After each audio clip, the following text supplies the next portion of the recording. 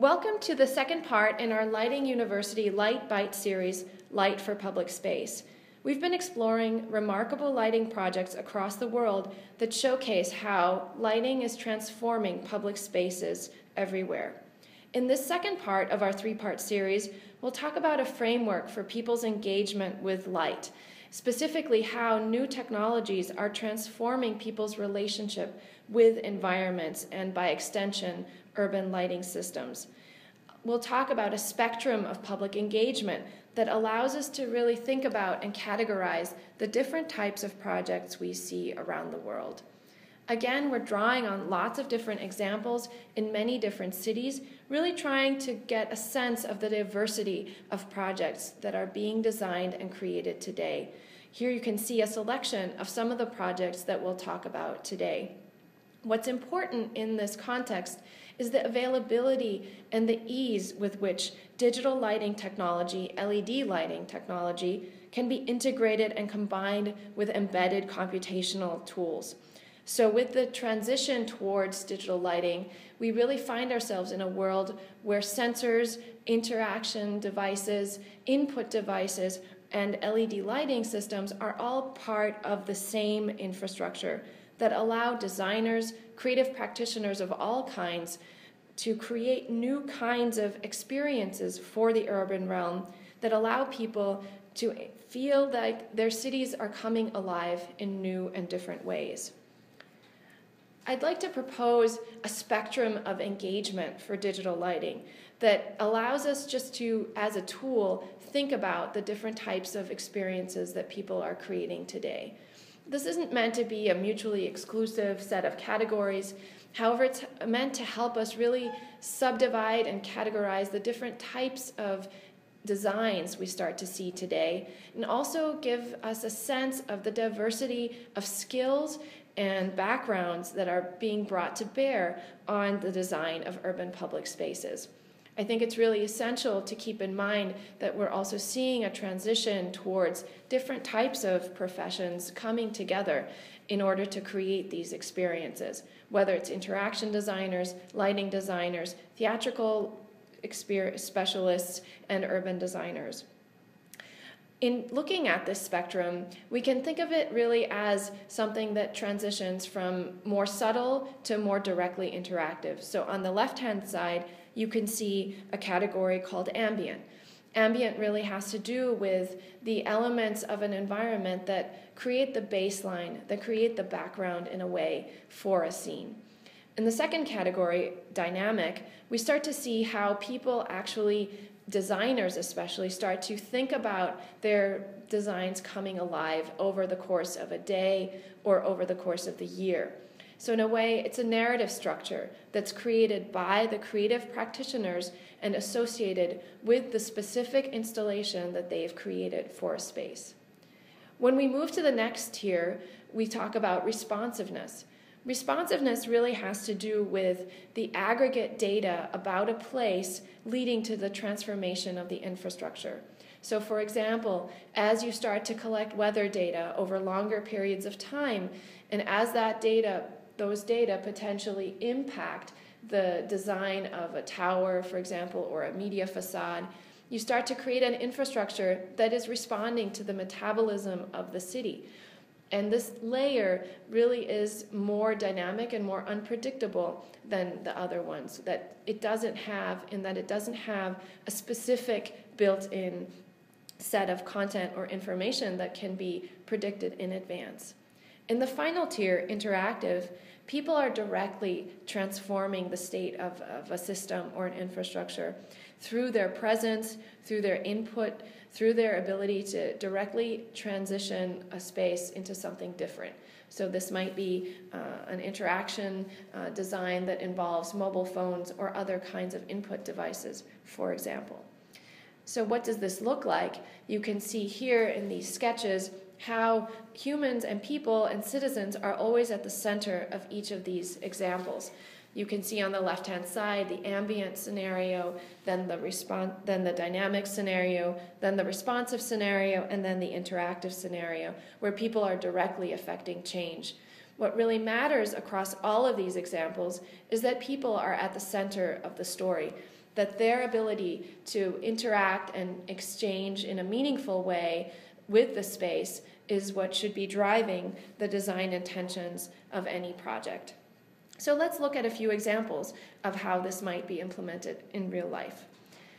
The first example is around ambient lighting. So here is Leipzig, the plaza that was redesigned by Lichtkunst Licht in the downtown that has both a 10th century historic architecture in the background as well as a really modern structure in the foreground. So this plaza has to accommodate multiple different layers of architectural history and also urban functions.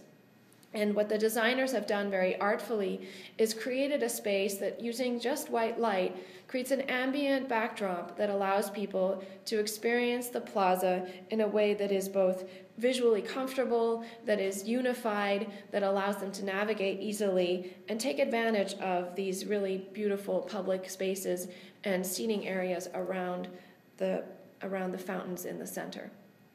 Another example of ambient light that's quite different is this one from Sondermarken Park in Frederiksberg, Denmark, that was designed in 2011 by B plus S Architecture and Lighting, where they've created a very well lit plot pathway through this beautiful park landscape that allows people to easily navigate the space and actually experience the city and the green spaces in the city in a comfortable, inviting uh, way well into the evening hours being an important factor in this particular climate, of course, in order to allow people to take advantage of open spaces even in the early evening hours when normally they might not feel as comfortable being in those spaces.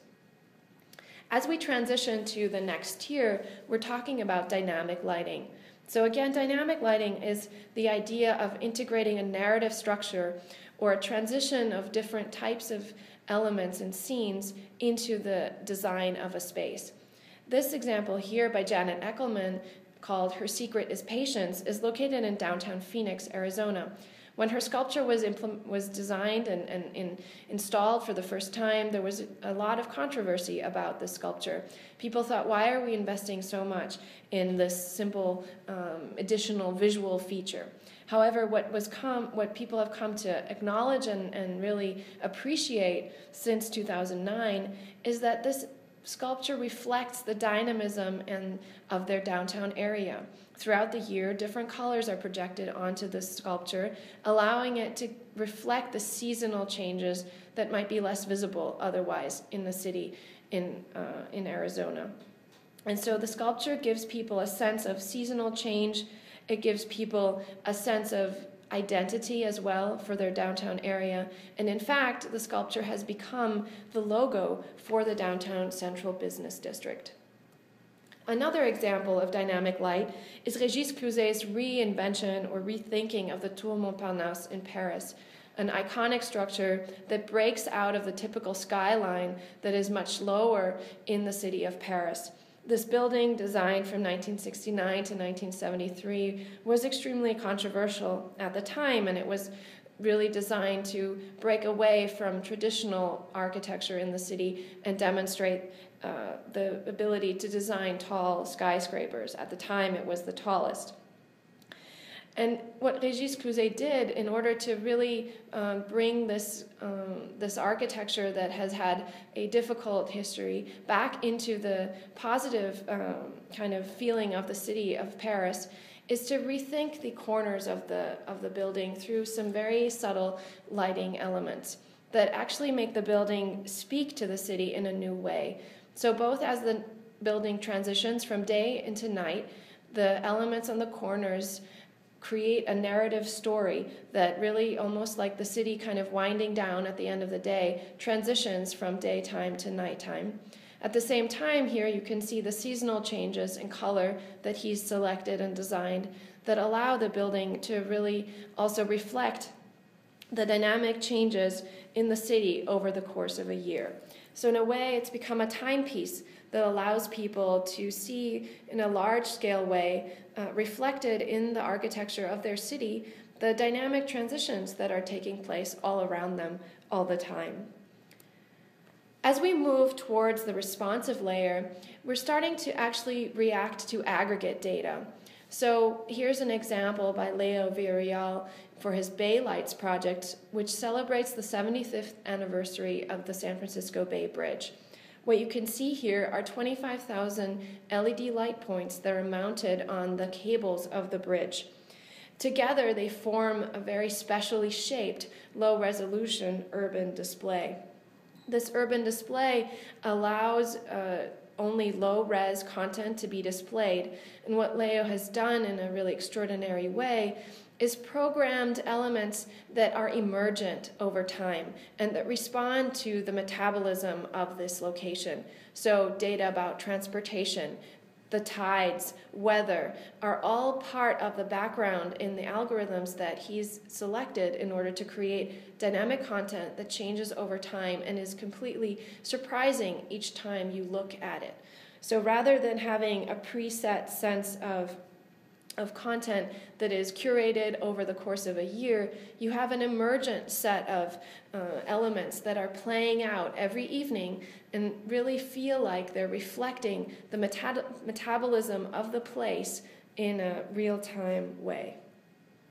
Another example is a project by KVA Architects for the 34th Street Public Ferry Terminal in New York City, where they've also installed sensors below the ferry terminal to understand what's taking place with tide levels, water speed, and currents in order to create elements within the structure of the ceiling of this enormous new ferry terminal to really reflect the metabolism of the place and the experience of that place and thereby enhance it and allow people to re experience it in a way that is much more visible since they don't necessarily have a sense of what's taking place underneath the platform of this, of this structure.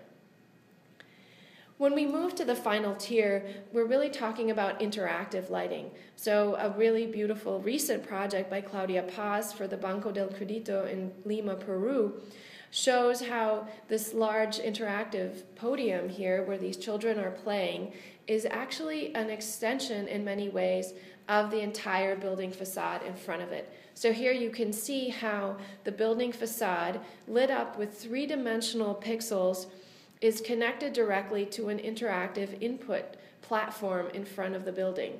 So, in some way, people can extend themselves out onto this building and have an impact on how the city is actually seeing their uh, interactive play at a very large scale.